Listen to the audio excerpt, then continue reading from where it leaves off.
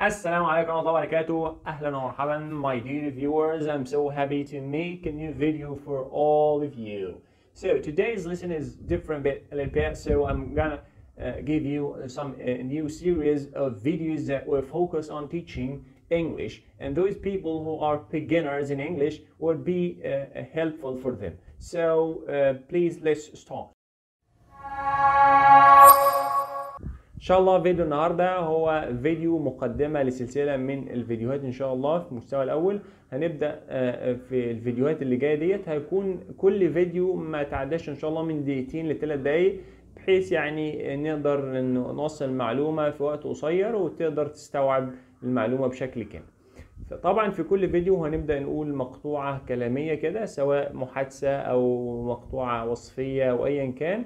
المقطوعة الكلامية ديت هنزود حضراتكم بيها وهيكون فيها مصطلحين أو ثلاثة بالكتير قوي برضو عشان نقدر نفهمهم ونبدأ نستغلهم بشكل كويس فيلا بينا نبدأ أول فيديو في سلسلة مصطلحات اللغة الإنجليزية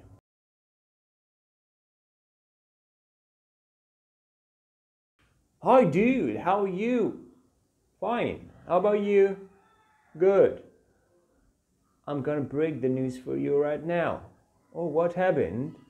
Our friend Khaled had put a new car in a villa. Oh, Khaled must be a rich man. Oh, yeah, that's right. Oh, it must cost him an arm and a leg. Oh, that's for sure. Okay, let's go and have a look.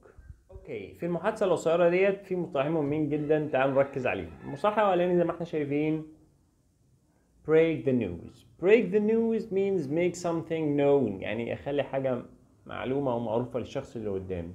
زي ما أقول له break the news يعني إيه؟ أنت ما سمعتش اللي حصل اللي حصل فتبدأ تقول له. فبريك ذا نيوز يعني تخليه يعرف حاجة هو مش عارفها. دي أول مصطلح معانا اسمه break the news. break the the news. وباللهجة البريطانية ممكن أقولها news.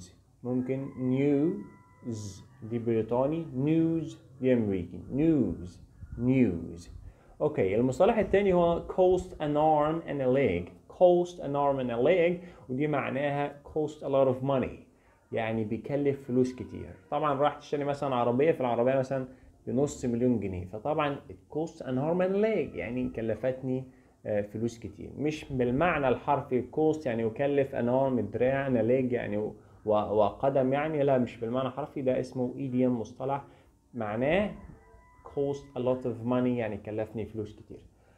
أتمنى يكون الفيديو عجبكم وإن شاء الله بشكل يومي شبه يومي هنحاول آه، نعمل فيديو بمصطلح حين أو ثلاثة زي ما إحنا اتفقنا في مقدمة الفيديو. إلى هنا انتهى الفيديو بتاعنا. السلام عليكم ورحمة الله وبركاته. See you next time.